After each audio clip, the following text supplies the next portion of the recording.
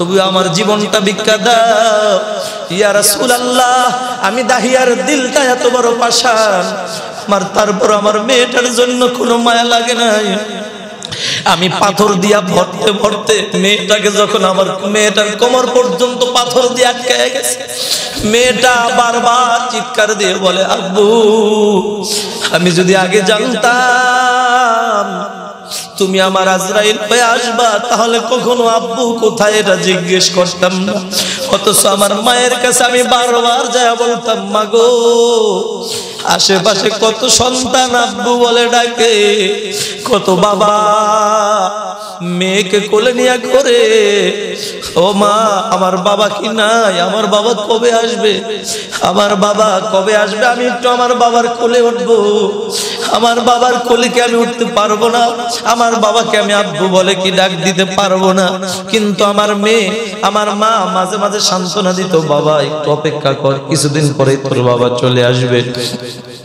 ও বাবা, আমি যদি জানতাম তুমি আমার আজরাইল হয়ে আসবা, আমি আমার মাকে বারবার এমন রিকোয়েস্ট করতাম না, জিজ্ঞাসা করতাম না। বাবা, ও বাবা, তুমি তাড়াতাড়ি যেমনেই হোক বাবা, তুমি আমাকে ছেড়ে দাও, জীবনেও তোমাকে বাবা বলে পরিচয় দেব না। ও নবী, আমার মায়া লাগে নাই, আমি পাথর একটার উপর একটা মারতেছি, একটার উপর একটা মারতেছি। কিন্তু নবী,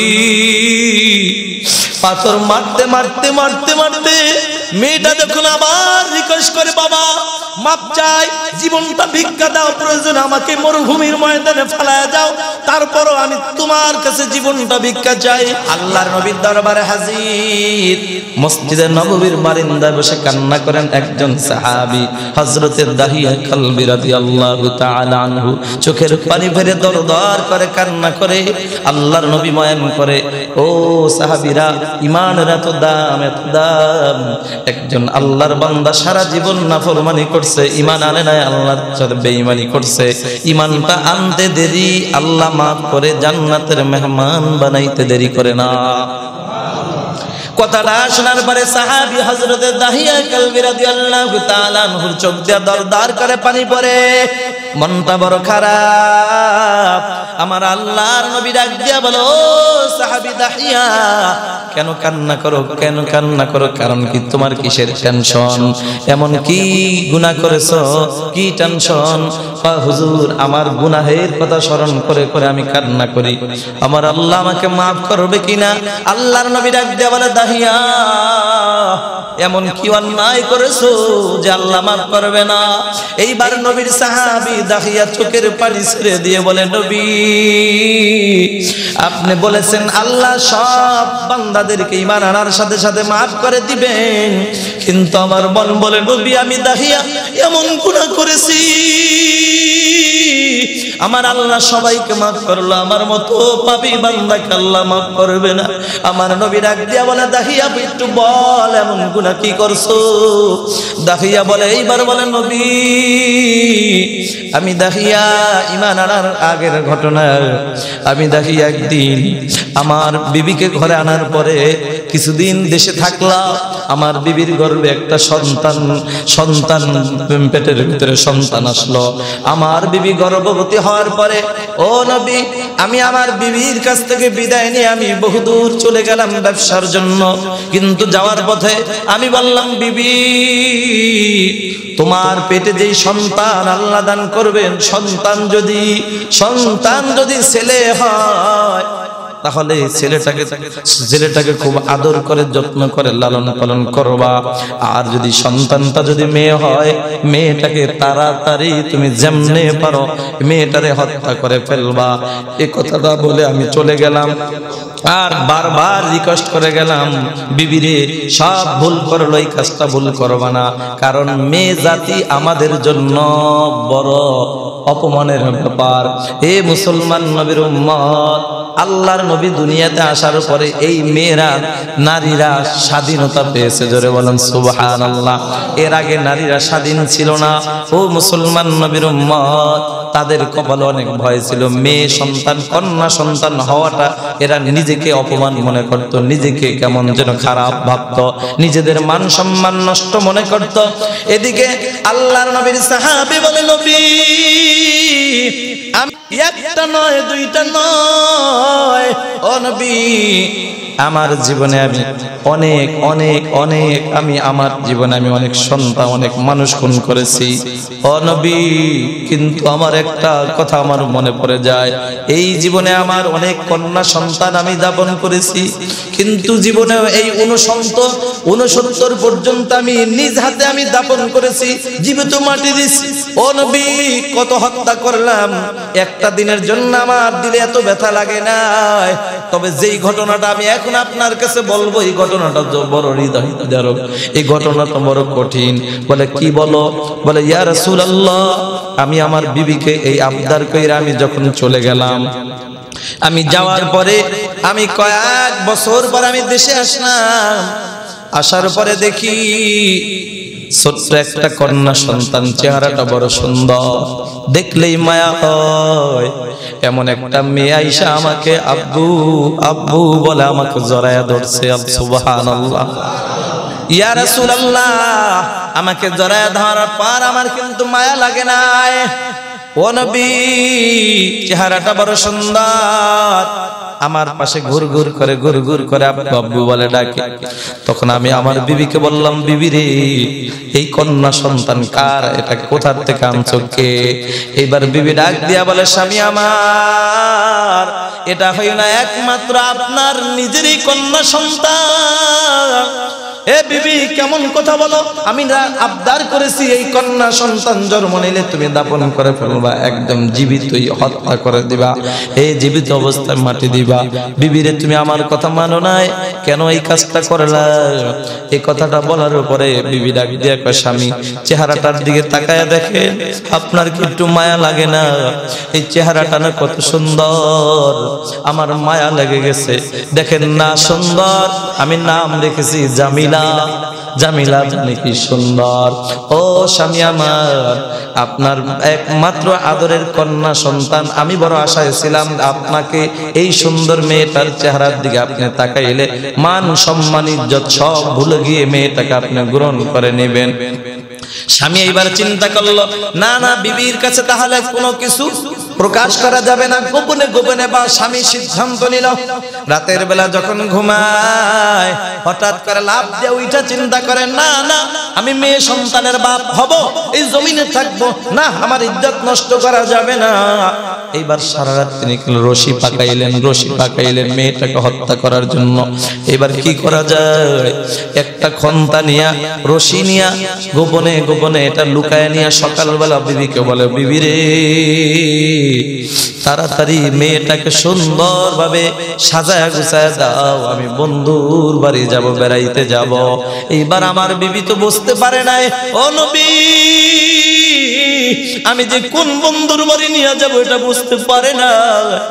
আমার বিবি আমার কন্যা সন্তানটাকে সুন্দরভাবে সাজাইয়া আমার কাছে যখন দিয়ে দিল, মেয়েটা আমার সাথে গল্প করে, আমিও গল্প করি, আমিও গল্প করি।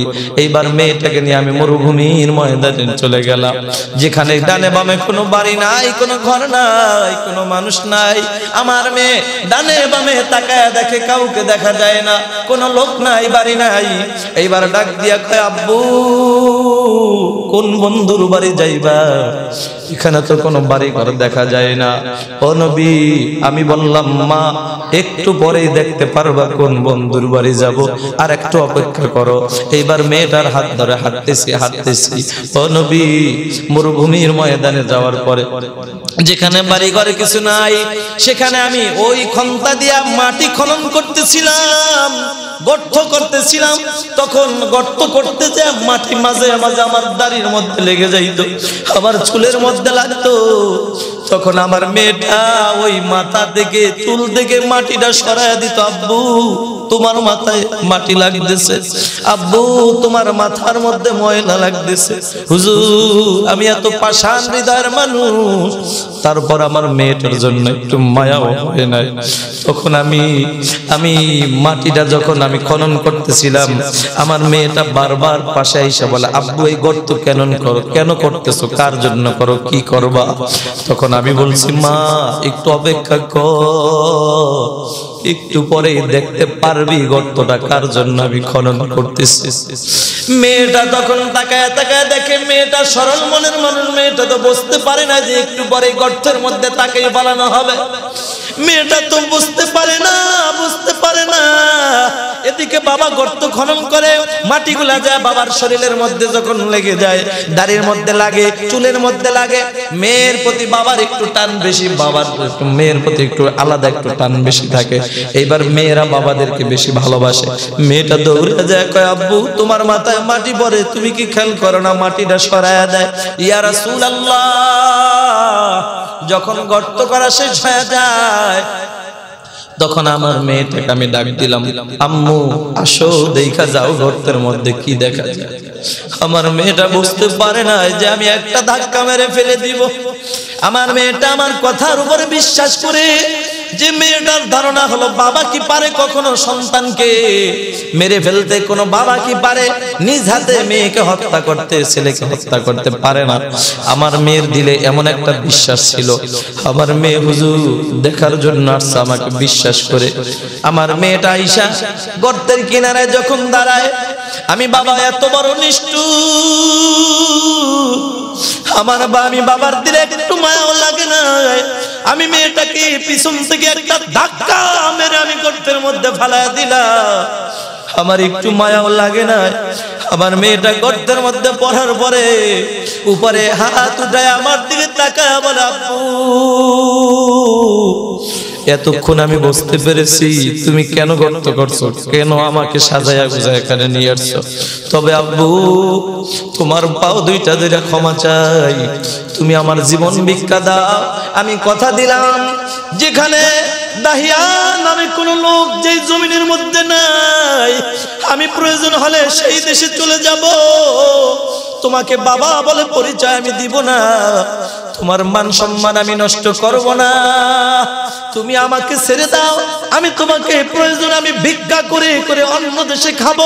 তারপর আমি তোমাকে বাবা বলে পরিচয় দিব না। ইয়া রাসূলুল্লাহ, মায়া তো লাগেই নাই। আমি এমন নিষ্ঠুর, আমি এমন একটা পাথর, বড় পাথর, হঠাৎ করে এমন জোরে আমি মারলাম। আমার মেয়েটার কপালটা ফাইটা রক্তগুলা ছিড় করে বের হয়ে গেল। তারপর আমার দিলে একটু মায়াও লাগে না আমার দিলের মধ্যে একটু মায়া লাগে না। যখন আমি আমি বারবার পাথর মারতে মারতে গলা পর্যন্ত চলে বারবার হাত দুইটা বের করে মেয়েটা আমার কাছে আব্বু গো, একটু কি মায়া লাগে না? একটু কি তোমার মায়া লাগে না? আমি এইভাবে এত নিষ্ঠুর নবী। আমি পাথর মাইরা মাইরা মেয়েটাকে আমি শেষ করে দিলাম। ও নবী, আল্লাহ সব গুনাহ মাফ করল। আমার এই গুনাহটাকে আল্লাহ মাফ করবেন কিনা? আমার নবী ডাক দিয়া বলে, আমার নবী ডাক দিয়া বলে, দাহিয়া রে, আমার আল্লাহ তো এমন একজন মালিক। আমার আল্লাহর দয়া, মায়া এত বেশি। আল্লাহ তো ওই দয়া, মায়া, ভালোবাসা সৃষ্টি করে নিরানব্বই ভাগ আল্লাহ নিজের কাছে রেখে দিয়েছেন। এই জন্য আমার আল্লাহর মায়া এত বেশি। এই জন্যই তো বারবার ডেকে বলে করছ, অসুবিধা নাই করছ, অসুবিধা নাই। ক্ষমা চাও, আমি আল্লাহ তোর সব আমি মাফ করে দিয়া, আমি আল্লাহ তোর থেকে জান্নাতের খাতায় উঠায়া দিব। ও মুসলমান এইবার আল্লাহ ওয়ালাদের সহবতের দাম আছে না নাই? আল্লাহ নবীর কাছে যাইয়া দাহিয়ার জীবন পরিবর্তন হয়ে গেছে গুনাহ মুক্ত জীবন শুরু হয়ে গেছে। এরে নবীর উম্মতের দল, ওই আল্লাহ ওয়ালাদের সহবতে চলে যাও। আল্লাহ বলে, ইয়া আইয়ুহাল্লাযীনা আমানুত্তাকুল্লাহ ওয়া কুনু মা'আস সাদিকিন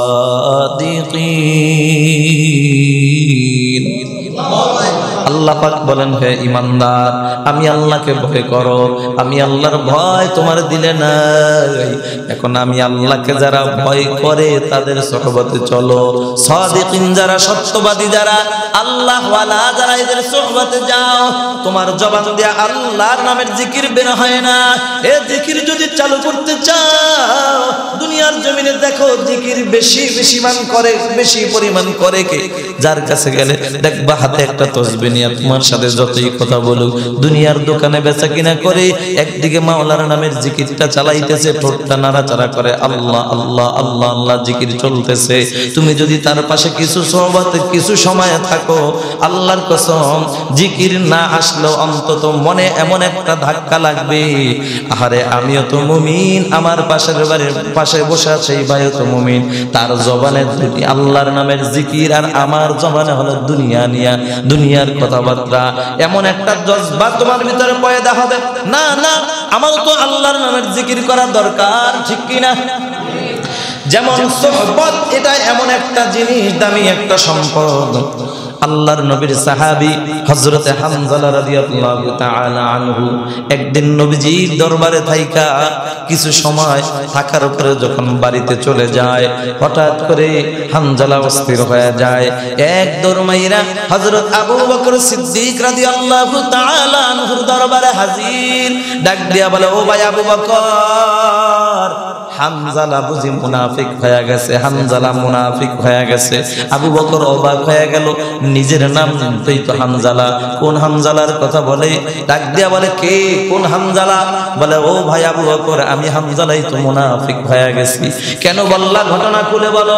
হযরত হামজালা রাদিয়াল্লাহু তাআলা ডেকে বলে, ও ভাই আবু বকর হানজালা মুনাফিক হয়ে গেছে মানে হলো আল্লাহর রাসূলের দরবারে যতক্ষণ থাকি তখন আমার জান্নাত জাহান্নামের বয়ান শুনি তখন জাহান্নামের ভয় থাকে জান্নাতের মায়া আমার দিলে থাকে।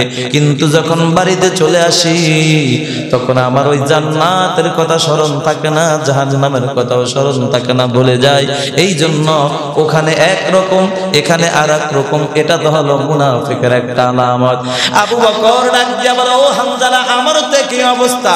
এইবার দুই সাহাবী মিলে আল্লাহর নবীর দরবারে হাজির।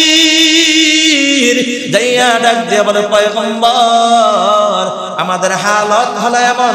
আল্লাহর নবী বললেন, অসুবিধা নাই। এটা দুনিয়ার একটা মানুষের ক্ষেত্রে হতেই পারে, হওয়াটাই স্বাভাবিক।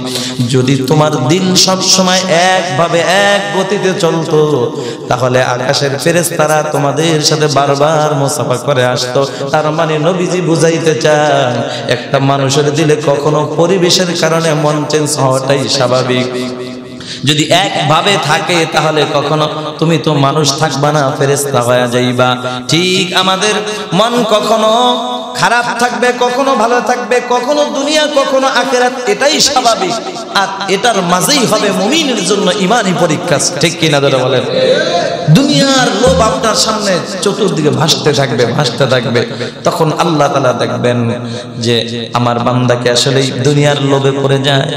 একদিকে দুনিয়া আর একদিকে আখেরাত, আপনার পাশে বাম দিকে দুনিয়া ডান দিকে আখেরাত। এখন বান্দা আপনার জন্য দুইটা রাস্তা। আল্লাহ বলে, গোলাম আমার, দেওয়া দুইটা রাস্তা, ডান দিকেও যেতে পারো, বাম দিকে যেতে পারো। বাম দিকে শুধু বাম দিকেই যদি চলো, ডান দিকে যদি ফিরে নাও, তাকা, না তাকাও, তাহলে তোমার ঠিকানা মনে করবা জাহান নাম আর যদি ডান দিকেও চলো, এই ডান দিকে চলতে যাইয়া বাম দিকে একটু চলতে হবে। আখেরাত কামাই করতে যাইয়া দুনিয়ায় কিন্তু খাওয়া লাগবে, বাঁচা লাগবে, থাকা লাগবে। এই জন্য আল্লাহ বলেন, ওই আখেরাতকে প্রাধান্য দিয়া যারা দুনিয়ার কামাই করবে, দুনিয়াতে সময় দিবে।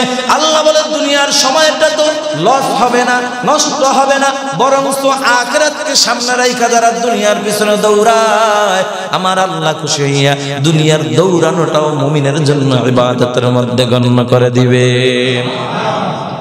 যেমন আপনি এই যে নামাজটা পড়ে আপনি রিজিকের সন্ধানে চলে যাইবেন, আবার আসরের নামাজটা পড়বেন, নিয়ত রাখবেন, আল্লাহ বলেন এই জুমার পর থেকে আসরের এক পর্যন্ত তুমি যে রিজিক, রিজিকের ধান্দায় ঘুরলা রিজিকের সন্ধান করলা, এটা যদি তুমি হালাল ভাবে উপার্জন করতে পারো, তাহলে এই ব্যবসাটাও, এই সময়টা আমি আল্লাহ ইবাদতের মধ্যে গণ্য করে দেবে। তোমার নামাজ কবুল হয় না তাহাজ্জুদ কবুল হয় না দান সদকা কবুল হয় না কিন্তু তুমি ব্যবসা করেছ হালাল, কোনো মানুষকে কখনো ঠগাও নাই। আল্লাহ বলে, এই এটাই হয়তো বা তোমার নাজাতের একটা উসিলা হয়ে যাইতে পারে সুবহান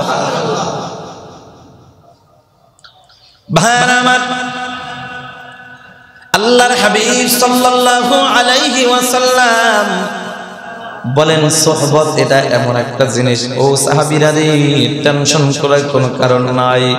ও হামজালা টেনশন নাই। ও আবু বকর টেনশন নাই। তোমরা যদি ভালো লোকদের সহবতে যাও, তখন তোমার দিলটা ভালোর দিকে টানবে। যখন খারাপ লোকদের সহবতে যাইবা, তোমার দিলটা খারাপ দিকে টানবে, এটাই স্বাভাবিক। ও মার্কেটের মুসলমান যুবক ভাই, দেখবেন আপনার বন্ধু বিড়ি খায়, আপনি বিড়ি খান না। দেখবেন আপনার বন্ধু দিন এক প্যাকেট বিড়ি কমপক্ষে না হইলে হয় না। একটা দিন আপনার সহবতে যে কোনো কারণে আপনার প্রয়োজনে তার পাশে বসা ছিলেন। বারবার যখন একটা বিড়ি ধরায় আপনার দিলের ভিতরে একটা টান মারবে, কিরে মধ্যে কি মজা পাইলো? এমন একদিন যদি একটা টান দেখতে পারতাম, তাহলে অনুভব করতাম। কিন্তু আল্লাহর আর একটা বান্দা জিকির করে জিকির করে জিকির করে, আল্লাহর নামের জিকির করে। নামাজ শেষ করে, ফরজ শেষ করে, নফল শেষ করে, সুন্নাত শেষ করে, নফল নামাজ দুই রেখাত নিয়ত করে, পরে আবার পরে আবার পরে। তখন আপনি যদি তার সহমতে থাকেন, তখন আপনার দিল বলবা হারে আমারও তো দরকার দুই রাকাত নামাজ বেশি পড়া। এটাই ভালো লোকদের সাথে থাকলে সহবতে মানুষ পরিবর্তন হয়ে যায়। এমনকি এই সহবতের কারণে মানুষ আল্লাহ তালার কাছে অনেক দামি হয়ে যায় সুহান আল্লাহর হাবিব সাল্লাল্লাহু আলাইহি ওয়াসাল্লাম সাহাবায়ে کرامদেরকে সামনে নিয়ে হাদিস শরীফের ঘটনা আল্লাহর নবী সাহাবীদের সামনে রাইখা। বনি ইসরাইলের একটা ঘটনা বর্ণনা করেন, ও সাহাবিরা গো, বনি ইসরাইলে এমন একজন ব্যক্তি ছিল, এমন একজন ব্যক্তি ছিল, জীবনে তিনি নিরানব্বইটা খুন করছে, খুন করে ফেলছে। এখন একদিন তার দিলের ভিতরে একটা সারা দিছে যে না না একদিন তো আমার এই দুনিয়া ছেড়ে চলেই যেতে হবে। কি করা যায়? আমি আল্লাহর কাছে তওবা করে আমার জিন্দগির সব গুনাহ থেকে আমার মাপ চাইতে হবে। এই চিন্তা করিয়া আল্লাহর নবী বর্ণনা করেন ওই বনি ইসরাইলের ওই যুবক এক আল্লাহর বান্দার কাছে যায় বলে "ও ভাই বলতে কি পারো? এই দেশের মধ্যে ভালো লোককে আছে, বুজুর্গ লোককে আছে। এবার লোকেরা ঠিকানা দেয়, যাও অমুক মহল্লায় যাও, সেখানে একজন পাদ্রী আছে। সে আল্লাহ বলা, সে বড় আল্লাহ ভক্ত, তার কাছে যাও। যাওয়ার পরে যায় সালাম দেয়া বলে, ভাই, আমি নিরানব্বইটা খুন করে ফেলেছি, বড় অন্যায় করেছি, আমার মাপ পাওয়ার মতো কোনো রাস্তা আছে কিনা বলো? আল্লাহর গোলাম ওই পাদ্রী ডাক দেয়া বলে, না না হায় হায়, তুমি নিরানব্বইটা খুন করছ। না মাপ পাওয়ার মতো কোনো রাস্তা তোমার জন্য নাই। তখন আল্লাহর বান্দার মেজাজটা গরম হয়ে গেল। তখন বলে মাপ পাওয়ার যেহেতু রাস্তাই নাই তো, নিরানব্বইটা রেখে লাভ কি? একশোটা পূরণ করে একটা রাউন্ড ফিগারে চলে যায় এই চিন্তা করে ওই পাদ্রিকেও জায়গায় খুন করে একশত একশতটা পুরা পূরণ করে দিল। মনের বড় জিত এইবার চিন্তা করল না, দেখি আর চেষ্টা করে দেখি। আবার আল্লাহর বান্দাদেরকে জিজ্ঞাসা করে, ভাই, তোমরা কি বলতে পারো?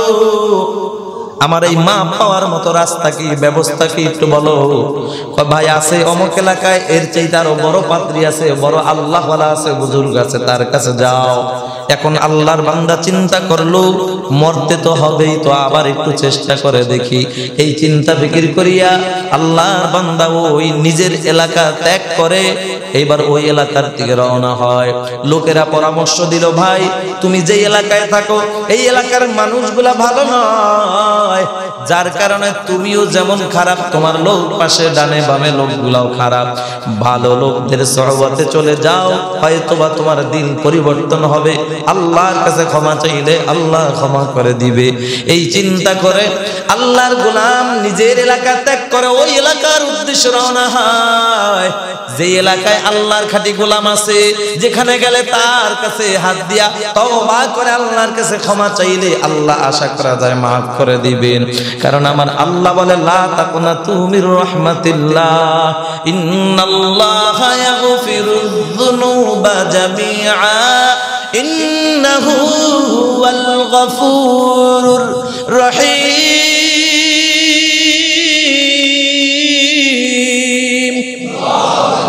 আল্লাহ রব্বুল আলামিন বলে, বান্দা নৈরাশ হয় না নৈরাশ হয় না।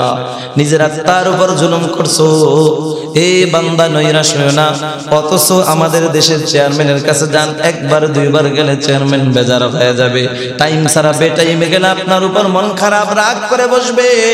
এমপির কাছে বারবার যদি একটা কিছু আবদার করা হয়, এমপি সাহেব আপনার উপর রাগ হয়ে যাবে। কিন্তু মন্ত্রীর কাছে যান, বারবার একটা কিছু বললে রাগ হয়ে যাবে। কিন্তু আমার আল্লাহ, এমন এক দয়ার আল্লাহ। বান্দা, আল্লাহর কাছে চাইলে আল্লাহ তো রাগ হয় না বরং আল্লাহর কাছে না চাইলে আল্লাহ বেজার হয়ে যায়, সুবহান।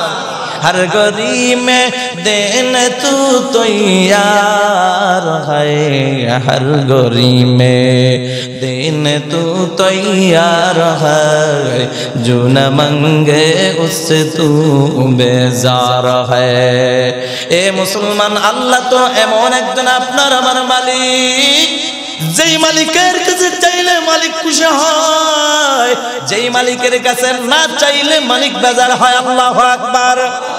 আর দুনিয়ার জমিনে কোন নেতার পিছনে দৌড়াও? নেতার কাছে তোমার প্রয়োজনে একটা কথা বললে, বারবার বললে, নেতা, তোমার উপর বেজার হয়ে যায়। আবার যদি একটা অন্যায় করে, অন্যায় যদি দেখতে পায়, নেতা সহ্য করতে পারে না, তোমাকে তার দল থেকে বাদ করে দেয়। কিন্তু আল্লাহ তো বাদ করে না। এত নাফরমানি, এত বেঈমানি যে আল্লাহর সাথে আমরা আল্লাহর জমিনে থাইকা করতেছি। আমার আল্লাহ তো একদিন বলে না, এ বান্দা আমি আল্লাহর হুকুম নামাজ তুমি পড়ো না। তোমার জন্য আমার দেওয়া পানি বন্ধ। আল্লাহ তো বলে নাই, আমার বাতাস তোমার জন্য বন্ধ। আল্লাহ তো পারতেন আমার রিজিক তোমার জন্য বন্ধ। যেহেতু তুমি আমি আল্লাহর গোলামি করো না। আল্লাহ তো এটা বলে নাই বলে নাই বলে নাই বলে নাই। বরং আল্লাহ বারবার বলে, লা তুমির রাহমাতিল্লাহ, ইন্নাল্লাহ হুয়াল গফুরুর রহিম।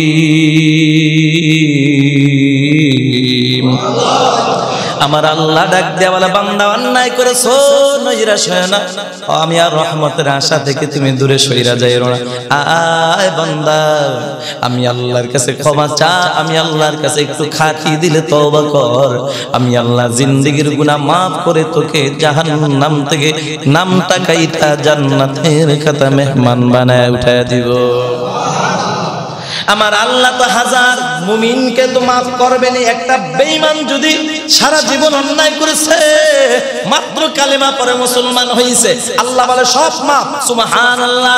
আল্লাহ এইবার আল্লাহর নবী বলেন, ও সাহাবীরা, ওই যে বনি ইসরাইলের যুবক, আল্লাহর গোলাম তওবা করার জন্য যখন গিয়েছিল, নিরানব্বই খুন করে যাওয়ার পরে যখন আসার কোনো বাণী শুনতে পায় নাই, তখন যায় একশত খুন আর একটা কইরা একশত পূরণ করে দিয়া, এইবার মানুষের কাছে জিজ্ঞাসা করে, আল্লাহ ওয়ালাদের মজলিসের উদ্দেশ্য যখন রওনা হয়, এবার যাইতে যাইতে মোটামুটি কাছাকাছি যা মানে মাছ বরাবর কিছু দূর যাওয়ার পরে হঠাৎ করে আজরাইলের সাথে দেখা হয়ে গেল। আজরাইল সামনে দাঁড়ায় গেছে। এখন আজরাইলকে দেখা আল্লাহর গোলাম ওই গুনাগার বান্দা জমিনের মধ্যে পড়ে গেল। জমিনের মধ্যে পইরা পইরা আল্লাহর বান্দা চিন্তা করে, হায় হায় আমার তওবা করার সুযোগ মনে হয় হবে না। আমার জীবনে কি তাহলে কোন আমল করার সুযোগ কি আমি পাবো না? আল্লাহর বান্দা জমিনের মধ্যে পইরা চিন্তা করে, আরে আজরাইল, যেহেতু আমার জান কবজ করেই ফেলব, তাহলে আমি একটু চেষ্টা করে দেখি, একটু চেষ্টা করে দেখি। এইবার বান্দা জমিনে পইরা ওখান থেকে বলল, দেখি, আমার আল্লাহ তো দয়া মায়া বেশি, আল্লাহ তো ইচ্ছা করলে আমার চেষ্টার দিকে তাকায়ও মাফ করে দিতে পারেন قال رسول الله صلى الله عليه وسلم আখলিস দীনাকা ইয়াকফিকা আল-আমাল কলিল নবী বলে ইখলাসের সাথে ইখলাসের সাথে দিলকে পরিষ্কার করে খাঁটি করে যদি কেউ ইখলাসের সাথে অল্প আমল করে আল্লাহর নবী বলে বান্দার এই অল্প আমলেই আল্লাহর দরবার নাজাতের জন্য যথেষ্ট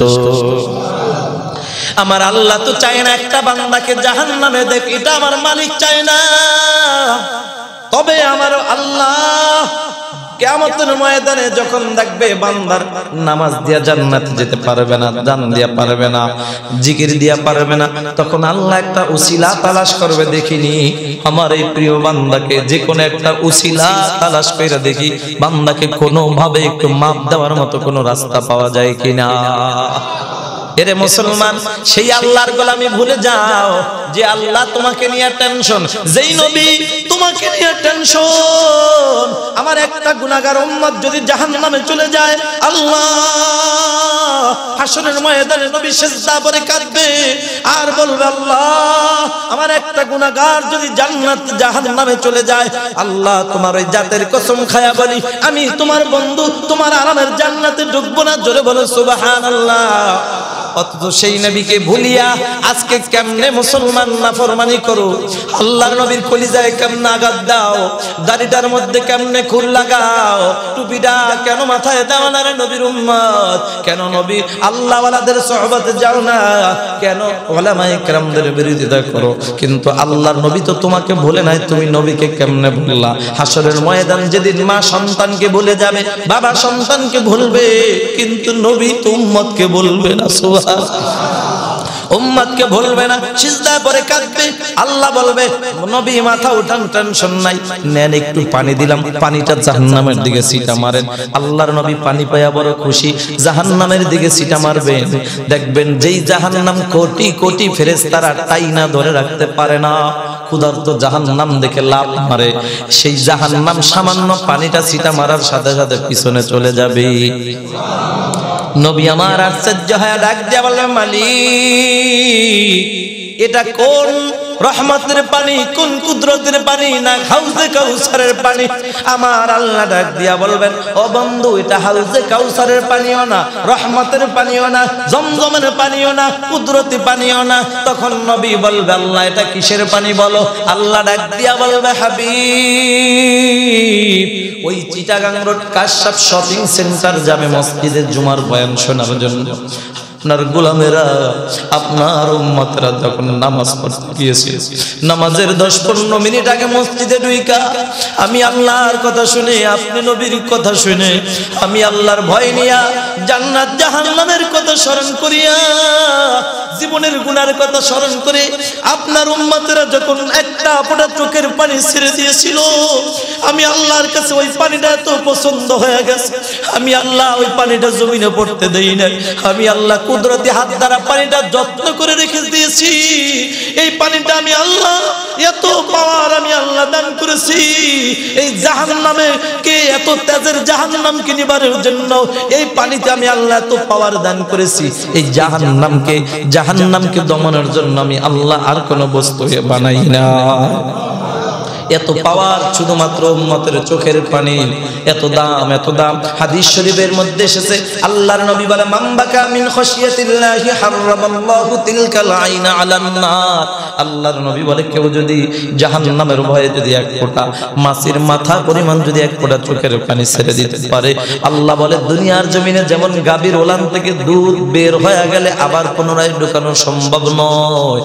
আমার যেই বান্দা জাহান্নামের ভয়ে এক ফোঁটা চোখের পানি ছেড়ে দিবে আমি আল্লাহ ওয়াদা করলাম। ওই বান্দাকে জাহান্নামেও দেওয়া সম্ভব নয়। এই জন্য মুসলমান, বেশি বেশি আফসোস করো। এর যুব কিসের বাহাদুরি? কিসের দলের মায়া পরে আল্লাহর নবীকে কষ্ট দাও? নেতার মায়া পরে নবীকে কষ্ট দাও। বিবির মায়া পরে নবীকে কষ্ট দাও। খবরদার খবরদার। মনে মনে ভাবো না, বুড়া হয়ে দাঁড়িয়ে রাখবা। মনে মনে ভাবো, বুড়া হয়ে টুপি মাথায় দিবা, নামাজ পড়বা। আল্লাহর কসম, তোমার মতো হাজার হাজার যুবক এমন স্বপ্ন নিয়ে দুনিয়ার জমিনে চলতেছিল। হঠাৎ করে মালাকুল মৌত সামনে হাজির হয়ে গেছে। তখন কিন্তু বলতে পারে নাই, হাজরাইল, আমাকে একটু সময় দাও। আমি একটু তওবা করে নেই। একটা দিনের সময় দাও, আমি একটু কাজা নামাজগুলো আদায় করে নেই। একটা দিনের জন্য সময় দাও। আমি একটু মাওলার নামের জিকির করে নেই। এ সময় কিন্তু দেওয়া হবে না। ইদা জা আজালুহুম লা ইস্তাখিরুনা সাআতাও ওয়ালা সাআতাও ওয়ালা ইস্তাকদিমুন আমার আল্লাহ ডাক দিয়া বলেন, যখন ওয়ার্ডার হবে, এক সেকেন্ড আগে হবে না, পরেও হবে না, আজরাইলের ক্ষমতা নাই। সময় দেওয়ার মতো ক্ষমতা থাকবে না। এইবার ওই যে যুবক তওবা করার জন্য যাইতেছিল, মালাকুল মউত আজরাইল সামনে হাজির। আজরাইলকে দেই আল্লাহর বান্দা জমিনের মধ্যে পড়িয়া মনে মনে ভাবে, দেখিনি, একটু চেষ্টা করি। হয়তো আল্লাহ চেষ্টার উসিলাটা দিয়ে আমাকে মাফ করে দিতে পারেন। আল্লাহ পারেন কিনা? সবাই বলেন আমার আল্লাহ আশি বছর গুণা করছ, মৃত্যুর একটা মিনিট আগে যদি বান্দা একটু তবা করতে পারো, আল্লাহ আশি বছরের গুণা মাফ করে তোমার নামটা জান্নাতের কথা উঠা দিবে। এখন তো বান্দা একটু হাত দিয়া শুয়ে আসে, একটু চেষ্টা করে দেখিয়ে দি যে এলাকায় আমি যাওয়ার জন্য চেষ্টা করতেছিলাম, ভালো এলাকা। ভালো এলাকার দিকে পাও দিয়ে তো হাঁটতে পারব না, আমি তো পড়ে গেলাম। এখন আমার হাতটা দিয়ে একটু চেষ্টা করে দেখি, একটু সামনে আগানো যায় কিনা। এইবার বান্দা হাত দিয়া, এইভাবে হাত দিয়ে আস্তে আস্তে করে শুয়া শুয়া একটু সামনে আগাইলো। কিন্তু আল্লাহর অর্ডার হয়ে গেছে, আজরাইল তার জান কবজ করে ফেলল। এখন দুই দলের ফেরেস্তা হাজির। আল্লাহ আকবার বলেন রহমতের ফেরেস্তা হাজির আবার আজাবের ফেরেস্তা হাজির। এখন দুই দলের ফেরেস্তা ঝগড়া শুরু করছে, রহমতের ফেরেস্তারা কয়, আমি নিব।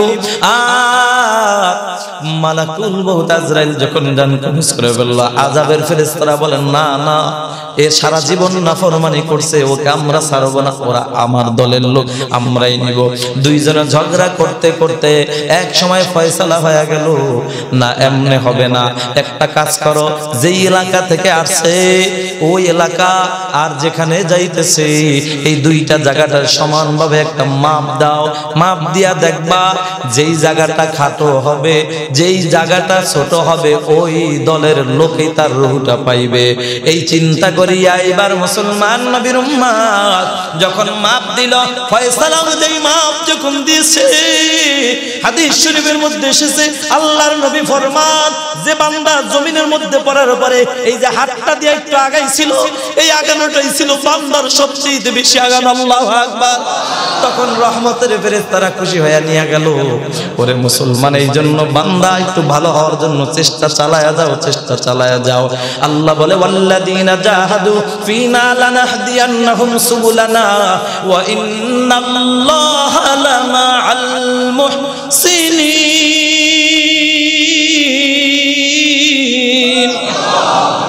আল্লাহ বলে বান্দা, তুমি আমাকে পাওয়ার জন্য একটু চেষ্টা চালাও, মুজাহাদা, মুশাহাদা করো। বান্দা, আমি আল্লাহকে পাওয়ার জন্য যত প্রকার রাস্তা আছে, আমি আল্লাহ বের করে দিব। এই জন্য বন্ধুরা, আমার জুমার আলোচনা লম্বা নয়। আমি গত জুমায় যেই সুরায় আলাত গায়েতে কারিমা তেলাওয়াত করেছি আল্লাহ বলেন, নবী ওয়াজ করেন, ওয়াজ বন্ধ না। যেখানে আল্লাহ বলে, ওয়াজ বন্ধ কইরেন না, ওয়াজ চালান, সেখানে আমাদের দেশের নেতারা বলে, ওয়াজ বন্ধ করেন। আরে তোর নেতার গুল্লি মারি দলের গুল্লি মারি আমার আল্লাহর চাইতে তোর দলকে মোহাম্মত আমি ইমানদার বেশি কখনো করতে পারি না, ঠিক কিনা? তোর দলের গুল্লি নেতার গুল্লি মারি আমানু আশাদ্দু হুব্বান লিল্লাহ। আল্লাহ বলে, যারা তাদের দিলের মধ্যে মাওলার মোহাব্বত বেশি, ঠিক কিনা? আজকে মার্কেট মসজিদে কে আওয়ামী লীগ করো, জানি না কে করো, জানি না। তবে আল্লাহর কসম, জান্নাতে যদি যেতে চাও, দলের মায়া করে আওয়ামী লীগ করো, অসুবিধা নাই। আওয়ামী লীগ তো খারাপ না করো, অসুবিধা নাই, খারাপ না। তবে বান্দা, একটা কথা মনে রাখবা, কখনো দলকে মোহাম্মত দেখাইতে যাইয়া আমার আল্লাহকে বাজার করা যাবে না, ঠিক কিনা? তাহলে মুসলমান নবীর উম্মাদ আল্লাহ যেখানে বলে, ফাদাক্কির, ওয়াজ করেন। আর তুমি আর মানুষ বলে, ওয়াজ বন্ধ করেন।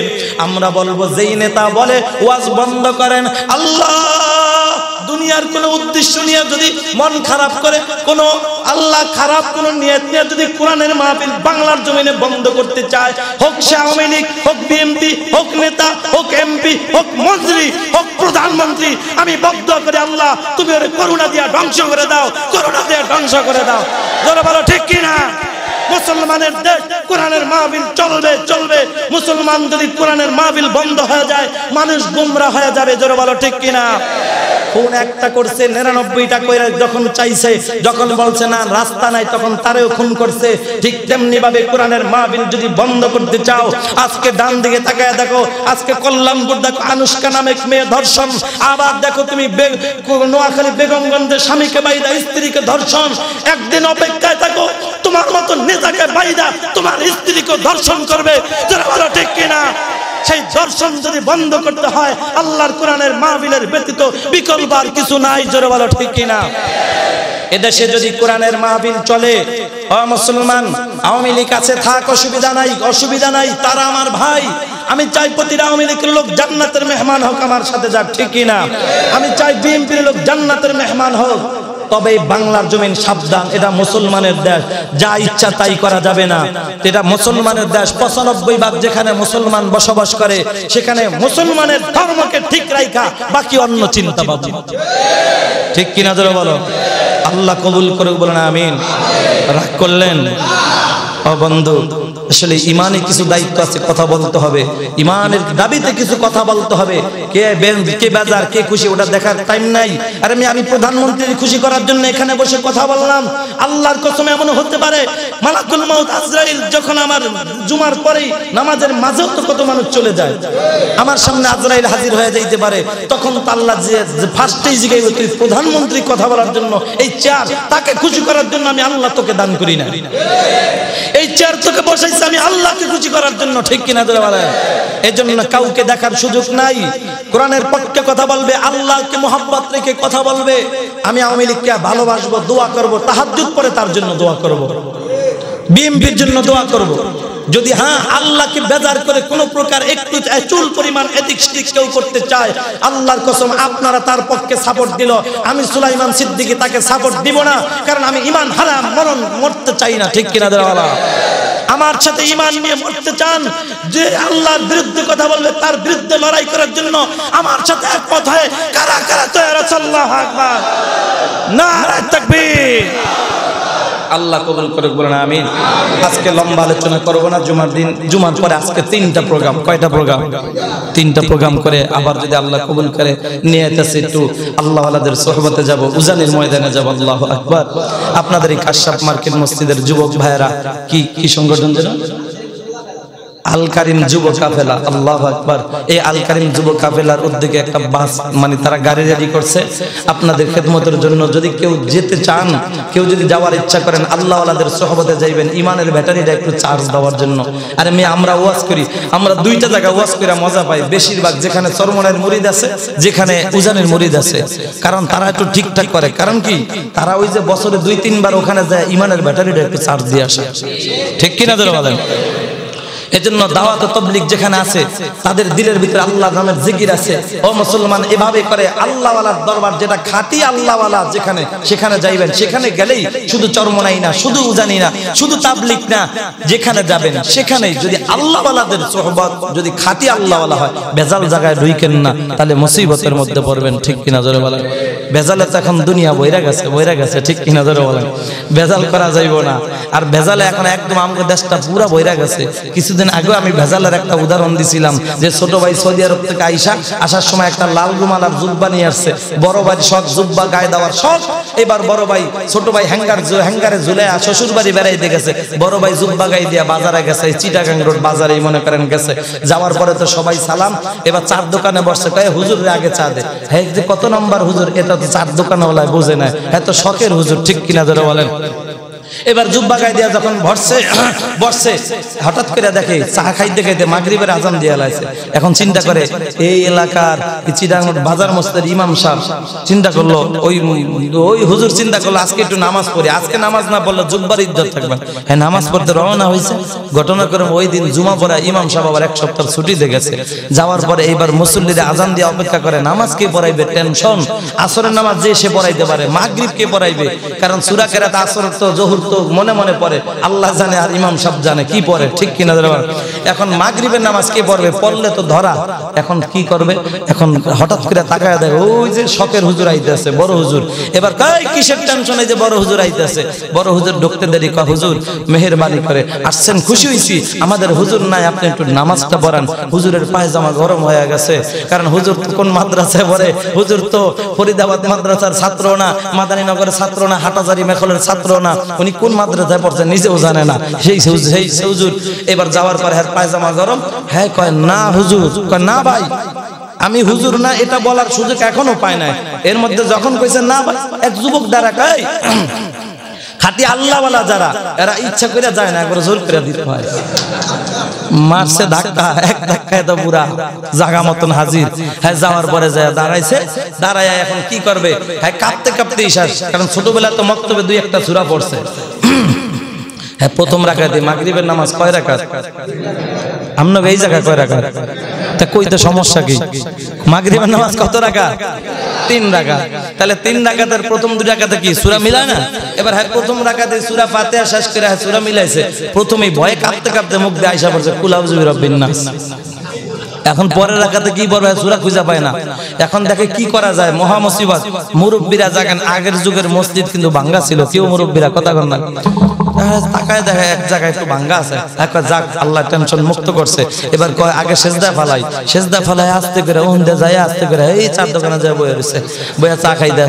এদিকে আলা মুসল্লিরা একবার, দুইবার মানে তিনবার, পাঁচবার, সাতবার বইলা শেষ কইরা এখন আরও বলতেছে। বলতে বলতে এক একজনের মুখ দিয়ে ফেনা বাইরে যায়। কিন্তু আল্লাহ নাই।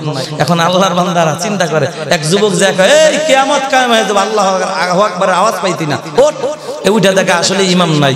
এবার যার যার নামাজ পড়ে সবাই বাজারে হাজির। যায় দেয় ইমাম সাহেব পারের উপর পাও দিয়ে চা খাইতেছে। বা কিও ইমাম সাহেব? এত বড় হুজুর ভাইবা আপনারা দিলাম, আপনি কেমনে কাজটা করলেন? এটা কি ঠিক হয়েছে? বা রাগ, আর হুজুর হুজুর করিস না। জীবনে হুজুর হুজুর বহুত করছ। তবে না বুঝা তোরা হুজুর হুজুর করস। আসলে দোষ তো আমার না। আমি তো আসলে অরিজিনাল হুজুর না। আমি হইলাম নকল হুজুর। আমি হইলাম শখের হুজুর। ঠিক কিনা জোরে বলেন? দোষ তো আমার না বেটা। দোষ তো তোদের। যারে পাবি তারই ধাক্কা দিয়ে সামনে দিয়ে দিবি। আর যারে পাবি তারই আমি সব মাইনা তাবলিগে যাবি। আরে যারে পাবি তারই যে পাগড়ি দেখলেই তুই পাগল হয়া। তুই পীরের দরবারে যা মুড়ি ধবি অথচ নামাজও পড়ে না। কত বাংলাদেশে কত পীর আছে দাড়িও রাখে না। ও না, এটা মানে আমাকে বাংলাদেশে নাই আর ইন্ডিয়ার কথা কইতেছে বাংলাদেশে আছে?